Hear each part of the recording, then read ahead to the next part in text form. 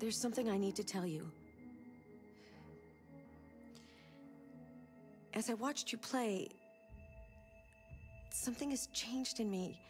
I feel different. I feel I am someone. I need to leave this place and and discover who I am. It, it means we won't see each other anymore. I won't be there to watch you play. But I'll be free. Do you agree to let me go?